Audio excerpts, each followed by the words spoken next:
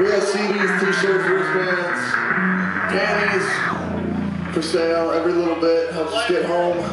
This is the last night we'll be out with Taproot. We've been on the road with these guys for four fucking weeks and we've enjoyed every single minute of it. I want to give love to them. The guys from The Liar's Eyes are up next. Are y'all fucking alive? Make some goddamn noise.